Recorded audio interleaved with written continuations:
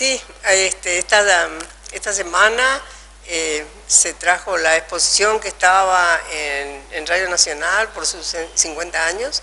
Eh, ya lo tenemos aquí en la sala expositiva que tiene patrimonio. Esto está abierto desde las 7 de la mañana hasta la 1 que pueden pasar por acá los turistas o la gente de Iguazú también o, los alumnos que a veces necesitan este, alguna atención y este, nosotros estamos aquí.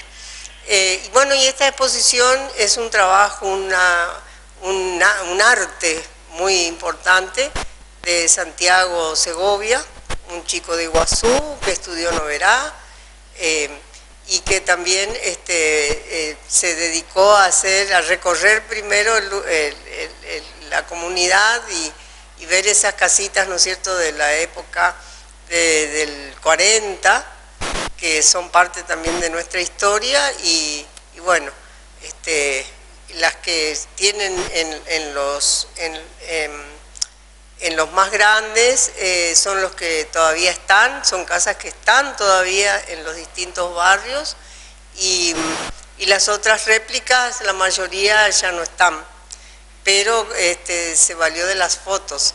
Así eh, que, ¿Esta que tenemos acá?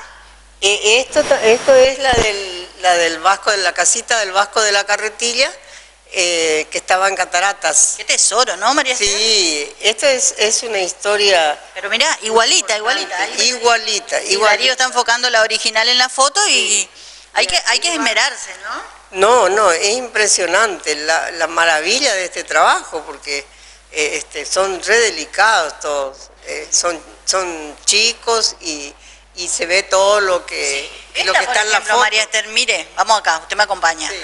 Eh, tal cual. Tal cual. estos eran entonces los, este, los, sanitarios que estaban, que se llamaban letrinas. Tal cual está.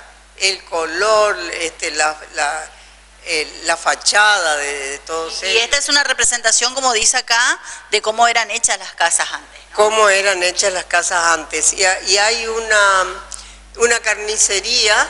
Yo le sigo, yo le sigo, vamos. Acá, acá tenés otros, mira que está el perrito también ahí, hasta el perro que estaba un viralata. Increíble el perro, mira Darío ahí. Sí, eh, es Con la puerta abierta, como solemos dejar a veces.